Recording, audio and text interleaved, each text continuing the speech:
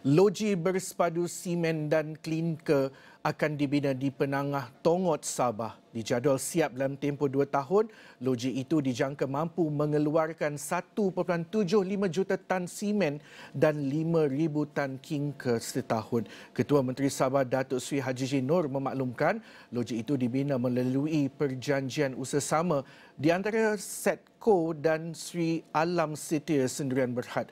Pada Rabu, memorandum persetujuan MOA dimeterai antara Borneo Cement, Sabah Sendirian Berhad dan Simona Industrial Engineering Melis Sendirian Berhad pengeluar simen terbesar China dan juga dunia. Simona Industrial Engineering Sendirian Berhad.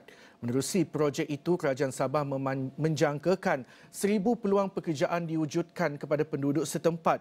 Untuk rekod permintaan bekalan simen semasa Sabah adalah sebanyak 1.4 juta setahun.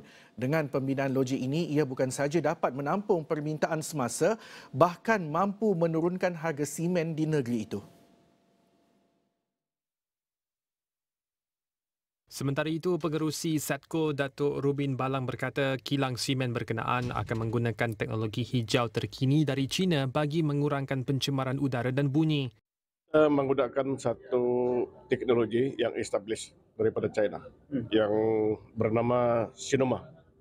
Uh, apabila ianya uh, dimulakan nanti, uh, orang-orang yang uh, apa ini, uh, paham dari segi teknikal Uh, pakar-pakar akan datang di Tongot dan uh, dalam masa lima tahun orang-orang Sabah akan belajar.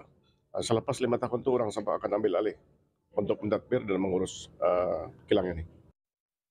Selain itu, pihaknya turut menyasarkan pasaran lebih luas bukan hanya di Sabah malah ke negara jiran iaitu Filipina dan Kalimantan, Indonesia. Kilang ini akan uh, memberi impak yang besar uh, kepada ekonomi uh, negeri Sabah.